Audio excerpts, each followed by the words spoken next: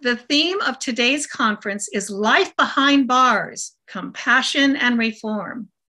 Personally, I was inspired and motivated to help plan this one day conference by several factors. The Freethought Society has a vested interest in the subject, which I will expand upon during my presentation about our donations to prison libraries. Now, years ago, I became passionate about reforming the justice system by watching the television show Adam Ruins Everything. Adam Conover has produced six shows that deal with myths and misunderstandings of police work, the judicial system, and the incarceration system.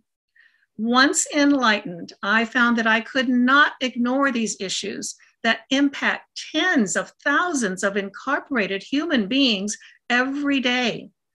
As secularists, we have an opportunity to use a distinctive voice to make a difference.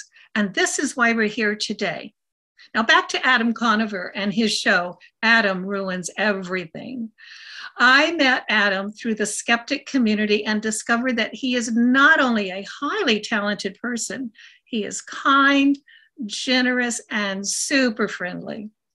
Today, I'm very proud to present a message from Adam as we begin this one day conference about compassionate prison reform. From me, Adam Conover, to everybody at the Life Behind Bars conference, I'm so happy that you're all talking about criminal justice reform with a skeptical eye. It's one of the most important issues facing our country, and is one of the issues that there is the most bullshit about in the media, in the courts, and yes, in our own hearts and minds. So thank you for taking a critical eye towards it. It's one of the most important things that you can do. Thank you so much. Following Adam's message, we are pleased to welcome Nadya Dutchin, who is representing the American Humanist Association as a co sponsor of this event. Oh, she is also our first speaker of the conference. Hello, good morning, everyone. Thank you so much, Margaret. Um, good morning, all. My name is Nadya Dutchin. Um, I am the executive director of the American Humanist Association. And I just want to say that that was a really great message from Adam Conover. Um, we've got to take a really good look at and a really good skeptical look at the way that the carceral system treats incarcerated people and affects our communities via the school to prison pipeline. The American Humanist Association is proud to be a co sponsor of this really important educational event. Our organization is a 501c3 nonprofit organization, and we've been around for about 81 years. Um, we have more than 240 local groups and more than 37,000 members that work together to bring about a more progressive society where altruism, which is doing the right thing because it's the right thing to do, is prioritized instead of just doing good because of the promise of a heavenly reward or the fear of eternal punishment. We do this at the AHA by protecting the separation of church and state uh, in the courts, and we lobby for progressive policies at the federal level. And we do also do this by building local communities where all people, particularly atheists, agnostics, free thinkers, skeptics, uh, and skeptics can find friendship, understanding, family, and mutual respect. For those of you who are not aware of what humanism is and why we need a, an association for it, uh, it is a non theistic worldview with ethical values informed by scientific knowledge and driven by a desire to meet the needs of people in the here and now. At the foundation of those values is an affirmation of the dignity of every human being and the preservation of the earth, which is why we're here today. I want to reiterate when we say every human being, we mean every single human being, meaning all of those who are free in the world and those who are incarcerated. I want to touch on why this is important to me. Um, and this is important to the AHA and the humanist movement also, but personally, speaking personally, um, when I was in college at Florida A&M University, um, one of the very first things that we examined in our American history class uh, taught by the renowned historian Dr. James Eaton was the 13th Amendment. And for all, all of you who are not aware what it says, it states neither slavery nor involuntary servitude, except as a punishment for crime, whereof the parties shall have been duly convicted, shall exist within the United States or any place subject to their jurisdiction. Now, this isn't the amendment that, that abolished slavery, but I want to roll back. And one of the things that Dr. Eaton asked us to do was continue to drill down into the piece that says, except as a punishment for crime. neither slavery nor involuntary servitude, except as punishment for a crime. So let's take a look at that in the current moment's analysis. Um, that means that people who are incarcerated are essentially enslaved. And that's the reality. Um, in 2008, there was a book written by Douglas A. Blackmon called Slavery by Another Name that examined all of the ways that the very existence of Black Americans post Reconstruction uh, were criminalized uh, through post Reconstruction, through Jim Crow, to create a, a prison based economy to replace the unpaid labor provided by enslaved Africans. America was founded with the idea in mind that there would always be a permanent class of enslaved people, and this continues on today. So I don't want us to like I don't want us to uh, think about the current carceral system as like a, an actual um, institution that needs to be revered. It should not be. um, I want us to see it for what it is. As humanists, why this matters to us as humanists the idea that we would continue to uphold the vestiges of slavery, of any form of slavery, via our carceral system is aberrant and odious. Uh, we as humanists value the inherent worth of, and dignity of every human being and the ability for everyone to learn and grow each and every day. No person should be constantly reminded of the worst day of their lives or the worst action that they've ever uh, inflicted on someone else um, we should all have the opportunity for redemption in our own ways.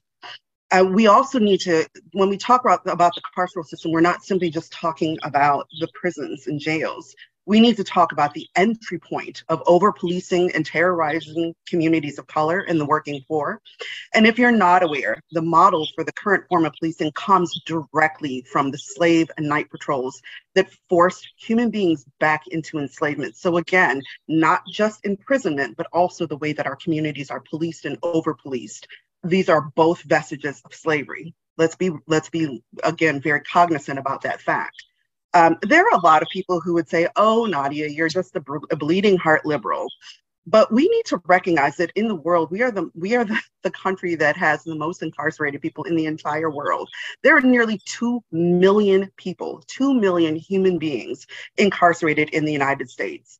Um, and I'm very well aware that there are people who commit extremely violent crimes who should face an appropriate punishment in this country that uh, averages around 780,000 people out of those 2 million people. And so we need to make sure that there is an appropriate punishment for those folks. But the vast majority of people who are imprisoned are nonviolent offenders, and there are better ways to address their needs and the needs of their families. We need to address root causes of many crimes, which are very pointedly poverty, mental illness, and addiction what we fail to acknowledge is that each of these incarcerated people have families and communities who need and love them. Families are also being punished along with the incarcerated people. We're talking about labor, we're talking about love, support, and affirmation coming through intact families that are non existent when people are incarcerated. The conditions in prisons are absolutely deplorable with barely passable and edible food, barely clean water, and lack of access to proper medical care, and little to no access to education, proper job training, and mental health or addiction counseling. One of the really interesting and terrible, honestly, um, example of how horrible our system is. In 2018, Hurricane Florence slammed into the eastern seaboard. Incarcerated people in South Carolina were not evacuated it should not be lost on anyone here that the animals in shelters, dogs and cats, and other little cute things were evacuated and prioritized over the people who were incarcerated, who were not evacuated. I will repeat again we must absolutely do better. At the heart of humanism is humanity, empathy, compassion, reason, respect, dignity, and care. This is a humanist issue on every level and providing care and community, actual loving, real community to incarcerated people and their families must not be an afterthought, nor can it be and must it be an act of white saviorism. And I'm saying that very pointedly because it's it's the truth. We need to take a, a very human and equal and egalitarian approach to how we work with families and incarcerated people and help them get their agency back as, as families and as individuals. We will hear from people today who will talk about the more humane ways to treat addiction and mental health challenges and how these conditions can be treated separately as healthcare issues and how providing a community to which they can belong helps to promote good mental and physical health. We will also hear from people who talk about smart recovery as a powerful tool tool that severely curbs recidivism for those with addiction and behavior control issues and how it can help their family stop codependent behavior, which is critical to the entire family unit healing. More importantly, we need to examine the ways that we can prevent people from going to prisons or jails in the very first place by changing the ways that our communities are over policed and terrorized and lean into transformative and restorative justice processes that prioritize healing both parties, all of the parties who are injured by crime both the offended and the offender to ensure that there are reparative healing measures that truly help everyone involved in a crime. In closing, I'm going to give you a quote from John Fire Lame Deer. And I want to make sure that everyone understands that when I speak, I generally speak from a Black and an Indigenous people of color perspective. And so John Fire Lame Deer was an Indigenous activist and, uh, and writer. Before he says, and please know that this is laced with sarcasm, he says, Before our white brothers came to civilize us, we had no jails. Therefore, we had no criminals. You can't have criminals without a jail. We had no locks or keys, and so we had no thieves. If a man was so poor that he had no horse, teepee, or blanket, someone gave him these things. We were too uncivilized to set much value on personal belongings. We wanted to have things only in order to give them away. We had no money, and therefore a man's worth could not be measured by it. We had no written law, no attorneys or politicians, and therefore we could not cheat. We were really in a bad way before the white men came, and I don't know how we managed to get along without these basic things, which we are told are absolutely necessary to make a civilized society. What he was saying is that we've got to examine how we work through transformative and restorative justice in our communities. We don't necessarily always have to do things the way that they have been done in, in the recent past we can do better as a society, and humanists have the moral impetus to help treat incarcerated people and their families with the care and respect they deserve, and to work with communities to help prevent the conditions that fuel the reason that people commit crimes in the first place. Please listen carefully to all of our speakers today, and most importantly, please plan to take action after today's conference. Humanism is a lived experience and a lived principle, and while we are here to learn, we must take action and help where we can. Thank you again for joining us. And if we have time, I would be happy to take questions. And we do have time. Well, I have a question for you, Nadya. Sure, Margaret. Um, I love the Humanist magazine. It's one of my favorite publications. And um, I noticed that you've been highlighting uh, prisoner stories, uh, and I really appreciate that. We need to uh, understand uh, what it's like to be a prisoner. And so not only am I complimenting you on that, but do you have other stories that are being uh, planned in the future for the Humanist magazine? I believe that we're going to be opening up some additional um, columns uh, highlighting stories from from incarcerated folks, and also not just just stories, but some of their artwork. Um, you know, honestly, some of the things that we get from folks who are incarcerated are some of the most beautiful works um, of art, of poetry, of, of, you know, of just thoughts and essays. Um, we get them quite often, and so we we do expect to have uh, some some more of those contributions from our incarcerated siblings um, in the Humanist magazine. Thank you. I write to a prisoner in North Carolina through the American Humanist Association. That's how I found him. And um, I've been helping him with a number of different things, trying to find a university where he can get a PhD because he's actually gotten two um, a bachelor's and a master while master's while in prison. Couldn't find a PhD that wouldn't work. They had to work. They wouldn't do correspondence. They had to be live on TV, and he can't get on live TV. But um, is it legal for me? And I've I just wrote to the Department of Justice yesterday to find out if this is true. Is it true for me? He wants to use me as an outside address because he has he knew investing before he was incarcerated, and he has some investments. He um, the mailroom has refused to forward anything to do with that because they say he can't do business while he's in prison. So um, he's using me as an outside address, and I am mail. Well, I haven't done it yet. I was waiting for an answer to find out if this is legal for me to, to be an outside address and to mail him this information. Do you know? Does anybody know? I have no idea, Joyce. That is an excellent question and one we should be jotting down to, to answer. I can ask our legal team, and I'm certain one of our attorneys can let you know. I Hmm, will. okay. I'll ask Monica. Great, thank you. Hi. Um, I was just wondering what kind of programs you have for um, preventing um, youth to going into the- system. Um, currently, we don't necessarily, as an organization, have programs for that. Um, I think those are probably better levied at the the local uh, on the local level. Um, you should probably check with your local.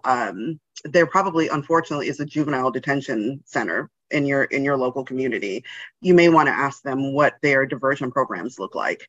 I, I don't I that it's again it's something that we don't necessarily do at this moment, but it's something that we can certainly look into uh, into spinning up at some point in time and partnering, finding out who does that work so that we can partner with them.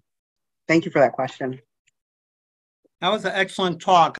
That was fascinating about the 13th Amendment, the argument you made about we're committed to slavery. I've never, I guess I don't know 13th Amendment well, and I, I really want to relook at it. But um, it just seems that we're very committed to punishment. And I'm curious what what we actually can do. And I know you have some excellent speakers coming up. I'm looking forward to it. Like what's been being done. I mean, I was in prison many, many years ago, 50 years ago. And um, so I'm just curious what's been happening since I haven't been in prison for 50 years. But I guess we'll find it out. Will your talk be available? Hi, Neil. Yes, um, you're actually lucky. I almost never write them down, but I actually did write this one. I did write this one down. So it is in print. I will make sure that it's available to you, Neil, uh, and others. If anyone is interested, I'll just put it in a Google document and make it available to anyone. Thank you so much. Thank you. Good morning, everybody. I'm thankful for being here. I am a mother that lost a son and a mother that did incarceration time. And our organization is a mother's voice due to my pain. So I wanted to tell her that was amazing and I appreciate everybody. I know it's going to be a beautiful day in the circle, but I also wanted to uh, know if she could uh, give me her information and share it because I do go in the Central Juvenile Youth Detention Center. And a lot of what she spoke was real. I'm firsthand, and I was in there last night, and a lot of kids have crimes, and we know that each person has their time, but they do need the resources and they do need the voices. That's my why my shirt says a mother's voice is not because it's cute, it's because the pain I went through. So I truly, truly am um, thankful and just wanted to know if she could share that in, in my email. Thank you guys for the invite.